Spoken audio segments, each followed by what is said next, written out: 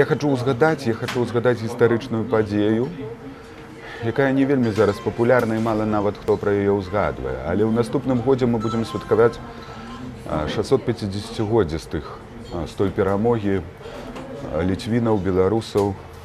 І гэта была надзвычайная падзея. Іншая справа, што яна па-рознаму падаецца зараз расійскімі крыніцамі, іншымі крыніцамі стае нагоды, што яна сапраўды беларуская і таму яе і забыліся і не ўзгадваюць. Гэта перамога Альгерда на сініх водах.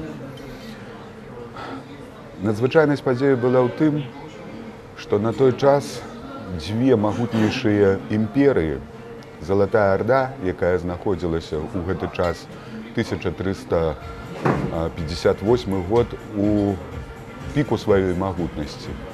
І атаманская імперыя, асманская імперыя.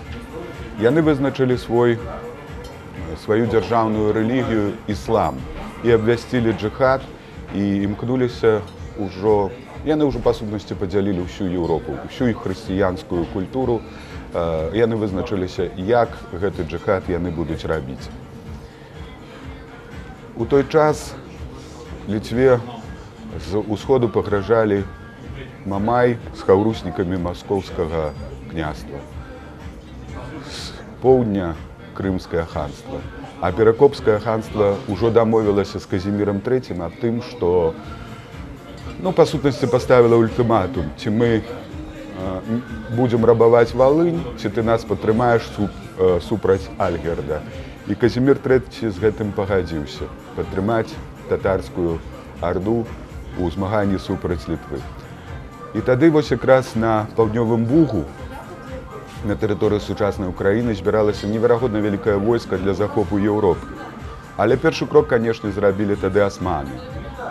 Саюзнікі залатой арды, калі ўвайшлі ўжо ў Еўропу, зрабілі там ужо такую плацдарм для захопу і перанеслі туды сваю сталіцу.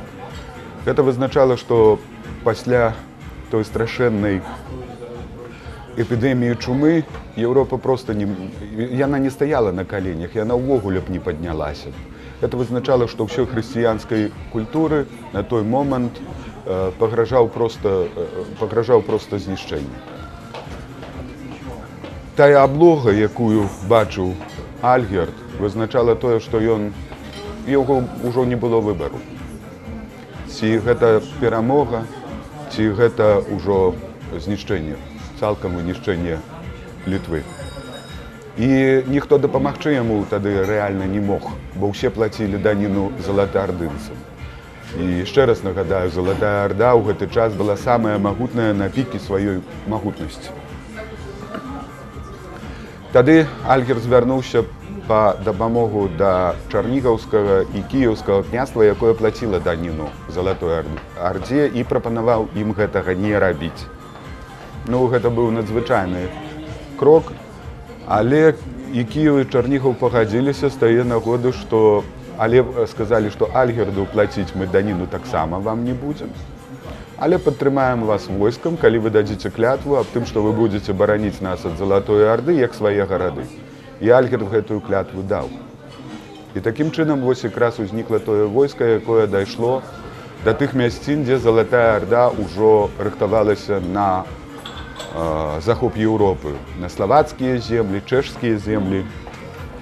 Бо гэта ўжо было разлічана, што менавіта там яны пачнуць захоп Еўропы. Гэта быў цэнтр цэнтральная Еўропа.